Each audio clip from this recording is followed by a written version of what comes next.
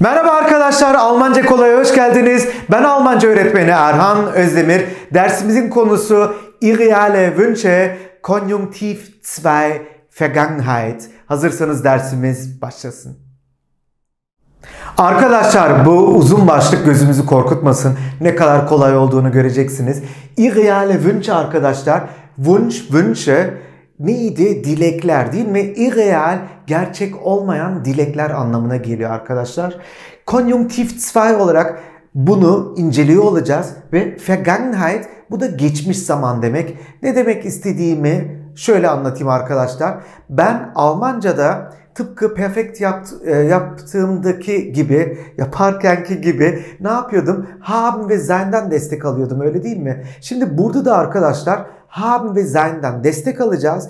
Haben ve sein'i neye göre çekimleyeceğiz? Konjunktiv 2 şeklinde çeviriyor olacağız. Ve aslında şunu yapmış olacağız. Keşke işte şunu yapsaydın. Hani e, olmamış olan bir şey. Dolayısıyla keşke şunu yapsaydın, keşke şuraya gitseydin gibilerinden gerçekleşmemiş olan durumlar için geçerli. Bu demek ki hani e, dilek ama dediğim gibi olmamış bir dilek. Bunu geçmiş zamanda inceliyor olacağız. Dediğim gibi örneklerle daha da iyi oturacaktır. Öncelikle yardımcı fiillerimizi bir çekimleyelim. Yardımcı fiillerimiz haben ve sein görüyoruz arkadaşlar. Hatırlarsanız az önce de söylemiş olduğum gibi perfect zamanda bu yardımcı fiillerden destek alıyorduk değil mi? Hani perfect zamanı kurmak için. Şimdi burada da konjunktiv 2 olarak ele almamız gerekiyor. Öncelikle bir çekimleyelim. Haben aslında baktığımızda kelime olarak neydi? Sahip olmak demek. Ancak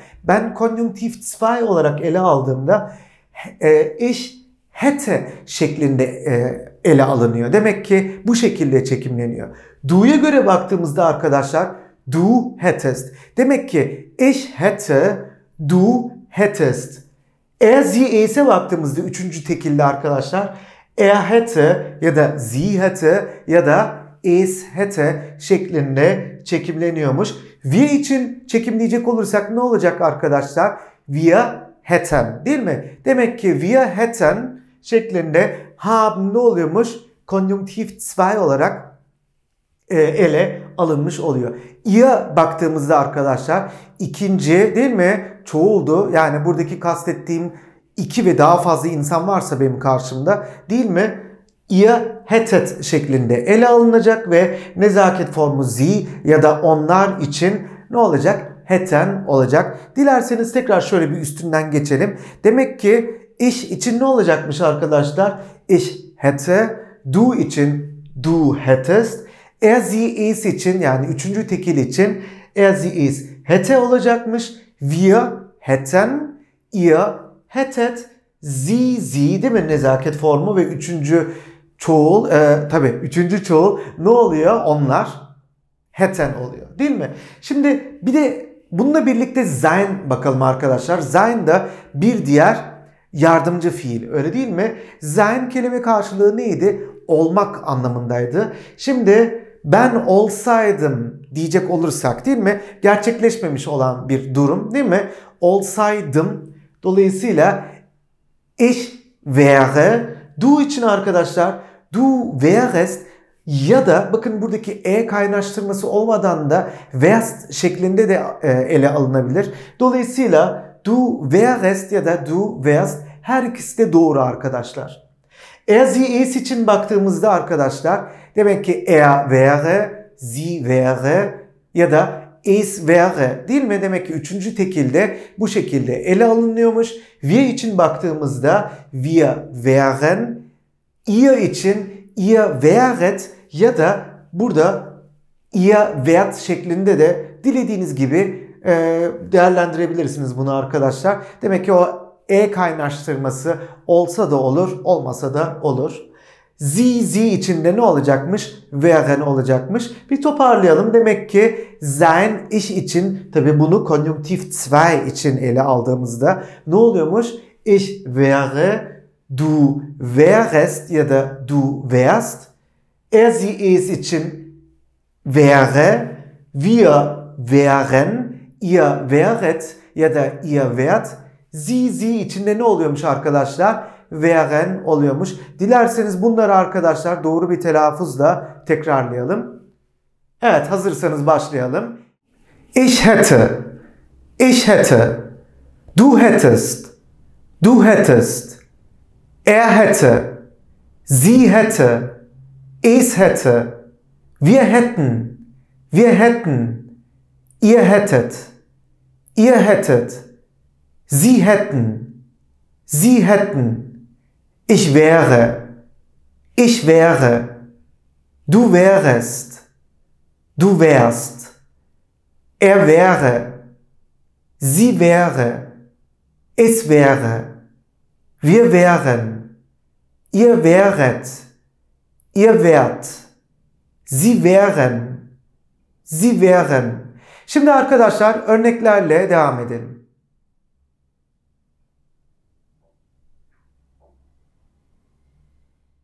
Hätten wir doch die erste Wohnung genommen. Şimdi bu cümleye baktığımızda arkadaşlar hatırlayacak olursanız biz imperatifte, emir kiplerinde ne yapıyorduk? Eylemle başlıyorduk. Normalde biz eylemle bir cümle başlattığımızda ne oluyordu bu arkadaşlar? Soru cümlesi oluyordu. Ancak buraya baktığımızda fark ettiyseniz ünlem işaretini görüyoruz. Dolayısıyla bakın burada öncelikle bir anlamlandıralım cümlemizi. Die erste Wohnung, die Wohnung ev ya da daire anlamına geliyordu öyle değil mi? Die erste Wohnung demek ki birinci daire, ilk daire anlamında. Genommen, evet bu da haben genommen almaktı. Hatırlayacak olursanız nehmen ne oluyordu? Perfektlikte haben genommen şeklinde ele alınıyordu. Şimdi biz burada arkadaşlar buradaki haben'i konjunktif 2 olarak ele aldığımızda haben ne olacak? Wir konumunda hätten olacak. Öyle değil mi? Bu durumda hätten wir denildiğinde ya keşke o birinci daireyi alsaydık demiş oluyoruz. Söz gelimi bir ev bakıyoruzdur ve o ilk bakmış olduğumuz evle ilgili güzel duygularımız vardır. Ondan sonra ikinci, üçüncü e, eve bakmışızdır ama ondan sonra anlamışızdır ki 2 ve 3'te iş yok. Tekrar o birinci eve odaklanalım demişizdir. Ama o birinci ev elden gitmiştir gibi düşünün. Dolayısıyla bakın burada bir ne durumu var? Ya keşke o birinci evi alsaydık. Ee, duygusu, düşüncesi var. Farkındaysanız. Çünkü bakın burada hätten wir doch die erste Wohnung genommen denildiğinde burada doch bakın burada bir pekiştiriş noktasında doch yahu keşke o birinci evi, o birinci daireyi alsaydık diye değil mi? Bir hayıflanma durumu var sanki öyle değil mi arkadaşlar? Dolayısıyla ne yapmış oluyoruz? Hätte ile yani bu yardımcı fiille başlamış oluyoruz. E bu durumda hätten wir doch die erste Wohnung genommen. Demek ki birinci daire ya da o birinci evi alamamışlar. E bu durumda ne yapıyorlar? Kendi kendilerine işte şey diyorlar ya keşke alsaydık demiş oluyorlar. Bu durumda arkadaşlar Nehmen ne ile anılıyordu? Haben ile anılıyordu değil mi? Yardımcı fiil. E peki wir şeklinde ele alındığında ne olacak? Heten olarak ele alınacak. E bu durumda keşke o birinci daireyi ya da keşke o birinci evi alsaydık. El, elimizden gitti Kaf, e, mantığında. Ne olacak o zaman? Hätten wir doch die erste Wohnung genommen diyeceğiz ve ünlemimizi koyacağız değil mi arkadaşlar? Şimdi ikinci cümleye bakalım arkadaşlar. Wäre sie doch nur rechtzeitig losgegangen cümlesini görüyoruz. Bakın burada da gene bir ünlem var. Bu sefer ee, öncelikle bir anlamlandıralım arkadaşlar. Rechtzeitig zamanında demek arkadaşlar. Losgehen hatırlayalım. Losgegangen şeklinde perfekt olarak ele alıyorduk öyle değil mi? Ve yardımcı fiilimiz neydi? Sein. E, dolayısıyla losgehen neydi? Yola koyulmak demekti. Biz bunu demek ki perfect yaptığımızda ne olacak o losgehen? Losgegangen olacak değil mi? Bayağı radikal bir kökte bir değişim olacak değil mi? Gehen, gegangen oluyor. Bu arada losgehen nasıl bir fiil? Ayrılabilir fiil değil mi? Ich gehe los, yola koyuluyorum şeklinde değil mi? Ele alınıyor. Tabi losgehen ne demiştik? Bir noktadan bir noktaya geçiş varken değil mi? Perfektlikte bunu anlatmıştım size. Ne oluyordu? Sein geçerliydi. E dolayısıyla burada da sein kalıbını bu sefer konjunktif 2 olarak ele aldığımızda ne oluyor? Ee, keşke zamanında yola koyulsaydı. Demek ki buradan ne anlıyoruz arkadaşlar? O kişi bir şeyi kaçırmış değil mi? Söz gelimi treni kaçırmış olabilir ya da otobüsü kaçırmış olabilir. Değil mi? Buradaki doch nur yukarıdaki doch gibi arkadaşlar pekiştireç noktasında yahu keşke zamanında yola koyulsaydı anlamı doğuyor. Dolayısıyla losgehen ne olacak? Sein ile anılacak. Burada bir kadından bahsediliyor. E dolayısıyla üçüncü tekil söz konusu olduğunda ne olacak arkadaşlar? Yardımcı fiilim sein wäre olacak. E bu durumda wäre sie doch nur rechtzeitig losgegangen. Ya keşke zamanında yola çıksaydı. Değil mi? Demek ki otobüsü kaçırdı. Değil mi? Dolayısıyla ya keşke yola erken zamanında çıksaydı dediğimizde wäre sie doch nur rechtzeitig losgegangen diyormuşuz. Tekrar şöyle bir toparlayalım arkadaşlar. İlk örneğe baktığımızda demek ki arkadaşlar ne görüyoruz? Hätten wir doch die erste Wohnung genommen. Demek ki nehmen ne oluyor perfect zamanda? Haben genommen oluyor. Şimdi buradaki haben'i ele aldığımızda ve konjunktif 2 Vergangenheit yapacağız. Geçmiş zaman yapacağız. E dolayısıyla buradaki haben ne olacak arkadaşlar? Az önce çekimlemiş olduğumuz gibi wir kişisine göre hätten olacak. E bu durumda hätten wir genommen keşke alsaydık. Dolayısıyla keşke birinci evi, birinci daireyi alsaydık dediğimizde hätten wir doch die erste Wohnung genommen dediğimizde demek ki irreale Wunsch kapsamında arkadaşlar, irreale Wünsche kapsamında demek ki hani olmayan bir şey. Havaya konuşuyoruz. Elimizden gitmiş o daire ya da o ev değil mi? Ve ne diyoruz? Ya keşke o birinci daireyi, o birinci evi alsaydık. Bu durumda hätten wir doch die erste Wohnung genommen e, diyoruz ve cümlenin sonuna ne yapıyoruz? Ünlem işaretimizi koyuyoruz. İkinci cümlede ise demek ki losgehen neymiş arkadaşlar? Yola koyulmak demekmiş. Gehen değil mi? Bir noktadan bir noktaya geçiş olduğundan dolayı ne yapıyorduk? Yardımcı fiil sein'den destek alıyorduk. Peki biz bunu konjunktif 2 Vergangenheit formunda kullanacağımızdan dolayı sein nasıl çekimleniyor arkadaşlar? Wäre şeklinde değil mi? Burada tabii bir kadın söz konusu olduğu için ne olacak? Sie wäre olarak ele alınacak. Keşke zamanında yola koyulsaydı dediğimde wäre sie doch nur rechtzeitig losgegangen dememiz gerekiyor. Dilerseniz bu cümleleri arkadaşlar doğru telaffuzuyla tekrarlayalım. Hätten wir doch die erste Wohnung genommen. Hätten wir doch die erste Wohnung genommen. Wäre sie doch nur rechtzeitig losgegangen. Wäre sie doch nur rechtzeitig losgegangen. Sonraki örneğimize devam edelim arkadaşlar. Hättest du deinen Traummann angesprochen? Bakın burada da gene bir hayıflanma var. Şöyle ki der Traummann, Traummann hayalindeki erkek değil mi? Bu hayalindeki kadın olsaydı ne diyecektik? Traumfrau olacaktı değil mi o zaman? Ansprechen, ansprechen gidip konuşmak demek arkadaşlar. Ansprechen de gene ayrılabilir fiil kapsamında. Yani gidip konuşmak, ona konuşmak şeklinde de e, ele alınır. Şimdi burada cümle ne diyor? Keşke hayalindeki o adamla, değil mi? Hayalindeki adamla konuşsaydın diyecek olursak demek ki ne yapmamız lazım arkadaşlar? Konjunktif 2 olarak ele almamız gerekiyor. Neyi? Haben. Dolayısıyla haben du formunda konjunktif 2 olduğunda ne oluyormuş? Bakıyoruz arkadaşlar. Du için hättest olacak değil mi? Dolayısıyla hättest du angesprochen keşke konuşsaydın dediğimizde demek ki hättest du angesprochen burada keşke senin hayalindeki adamla konuşsaydın şeklinde birebir çevirdiğimizde hättest du deinen Traummann angesprochen dememiz gerekiyormuş. Sonraki örneğe bakalım arkadaşlar. Wäre ich doch nur mutiger gewesen. Evet arkadaşlar burada mutig komparatif olarak karşımıza çıkıyor. Mutiger daha cesaretli şeklinde ele alınıyor.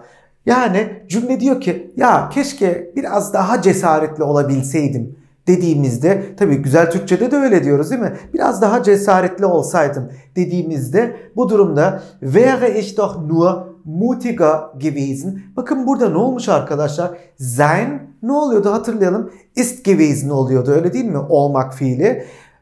Ben burada şimdi sein işe göre yorumlayacak olursam ich wäre oluyor.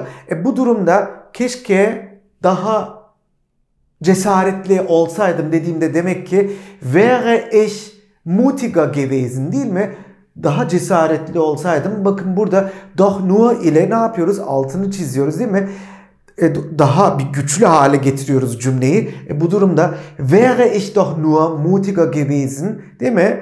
E, dediğimizde keşke biraz daha cesaretli olabilseydim anlamı doğuyor. Bunlar da demek ki ne yapıyoruz arkadaşlar?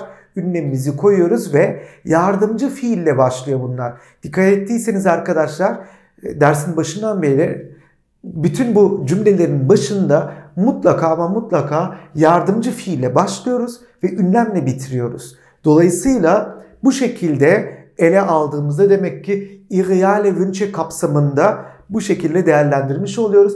Dilerseniz şöyle ilk örneği tekrar bir bakalım.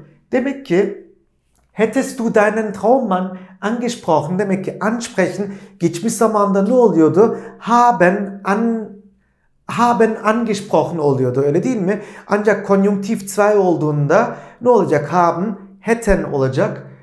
Du'ya göre yorumlandığında hättest. Bu durumda hättest du deinen Traummann angesprochen.